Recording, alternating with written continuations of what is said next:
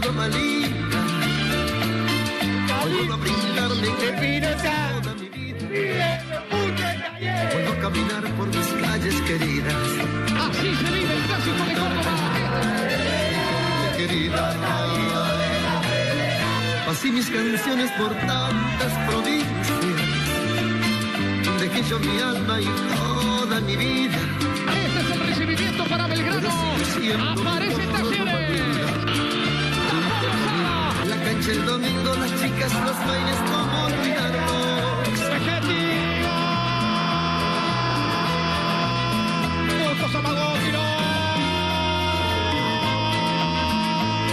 grandes. Bueno, cambiamos de tema y nos metemos en lo que pasó ayer en el gigante de Alberdi con el empate 1-1 de Belgrano y Taller. Mirá qué linda fiesta, todo teñido de celeste.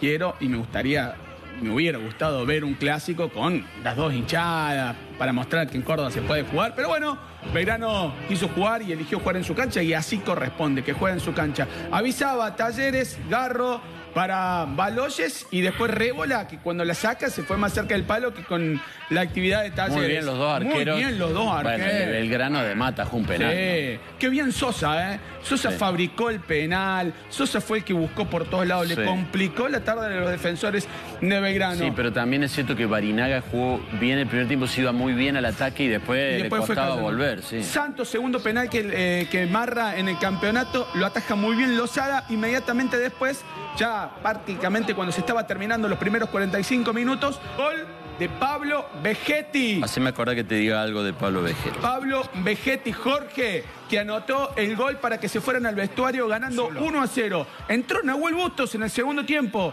Qué jugadón se clavó. Qué lindo gol, porque vos fíjate, la enganche de derecha define de zurda, no solo esa, sino que después tuvo dos más.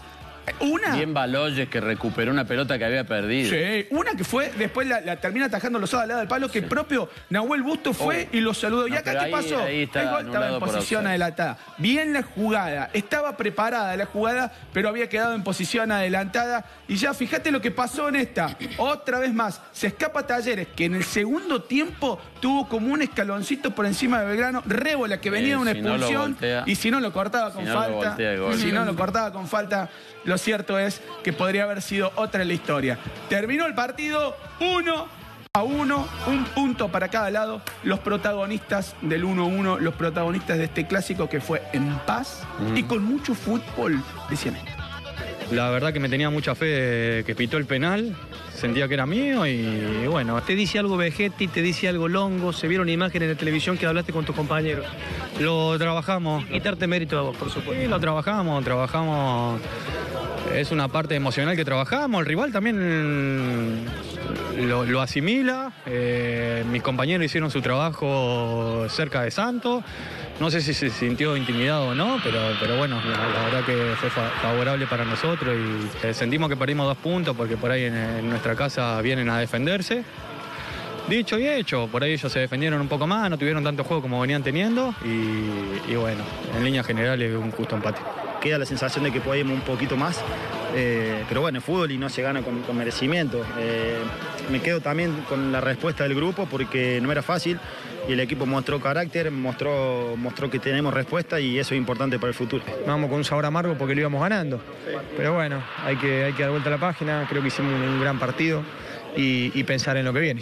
El clásico haya vuelto Alberdi, que se juegue acá, no en el Kempe, ¿cómo lo toman ustedes? Bueno, Juan, ¿en qué si tenemos estadio nosotros solo? No. Estaba la posibilidad. No, ¿de quién? De nadie. De ellos, no, nosotros no, nuestra casa. Mira lo que es todo hermoso. ¿Qué vamos a jugar en Kempe si somos local acá? Eh, creo que el arquero hizo un gran trabajo. No sé si fue figura o no, pero eh, tuvo un muy buen trabajo. Nosotros creamos, como te digo, seis, siete situaciones claras de gol y no, no estuvimos finos.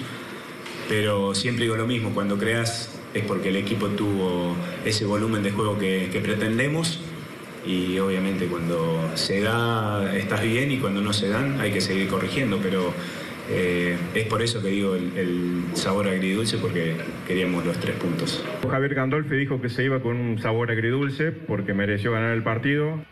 Yo opino de lo mío, me voy con un sabor agridulce porque considero que el partido lo tendríamos que haber ganado nosotros. Creo que hoy nosotros perdimos dos puntos porque el partido estaba a favor nuestro para poder ganarlo, pero desde la objetividad te digo que considero que el empate fue lo más justo para el partido. Sí, yo creo, creo igual que Farre, creo que está bien el empate. Eh, Me va- parece que si vos vas a calificar talleres un poquitín mejor, un poquito puede ser en algún momento el segundo tiempo, pero muy poquito, fue un partido parejo y está bien el empate. Eh, no, iba a decir dos cosas. Iba a decir algo de Vegetti. Jorge, sí, me quedé con la duda. Para mí, yo no digo que vos. No podían haber encontrado un goleador tan parecido al Luis Martínez. No, no. Pero es impresionante. En la manera de jugar, digo, el, el- el- ese goleador ese de, gol, de raza, de área, de no le podés dar un tranco de pollo, te las pelea todas, te las lucha todas. Se las banca él solo contra todas Sí, las defensas, pero no contra eso. ayer, contra Talleres. Contra todos. Contra todos. Él solo. El, el único delantero que tiene Belgrano. Y era lo que quería decir es eso. Palermo, Sí. por decir, Sí, Martín Palermo en Sí, Boca. por ponerte un goleador parecido, digamos. yo. Al menos en Boca siempre tenía o a Guillermo Barros Queloto Claro. o a Delgado y en, O y a en Riquelme el... No, no, no, sí, pero Riquelme era el 10, sí, también. Sí. Pero, pero quería hablar de los, de los asistidores Ah, que está llegaban al fondo y el otro, Palacios. Sí. Después, Rodrigo Palacios. Sí, Tuvo en sus dos etapas. cuando salió de Banfield se fue para Boca. Vegetti está solo, no tiene nadie. No. No. tiene nadie que desborde y le eche un centro redondito. Va y se tiene que fajar todo el tiempo. No, le hace falta. Guillermo, hay que decirle Ah, a ah, por supuesto, sí. A ese muchacho le hace falta un 7. Un compañero, claro. Un delantero que, que, Que lo acompañe un poco más. Y, le, le- y se junte. Jorge, y además otra cosa, además otra cosa, no solo que es efectivo, no, sino que eh, físicamente no, no- nunca, nunca se manca. Pero ¿cómo? Porque a, Ven- a- a lo que quiero decir Sí. es esto, cuando va un, un delantero que la pelea tanto, que la lucha tanto, que lo fajan tanto, y siempre se mantiene en pie, no se lesiona Pero nunca. Belgrano lleva 15 goles en el campeonato. 10 los hizo Vegetti. La verdad, impresionante. Bueno, ok. Terminó este fútbol para todos.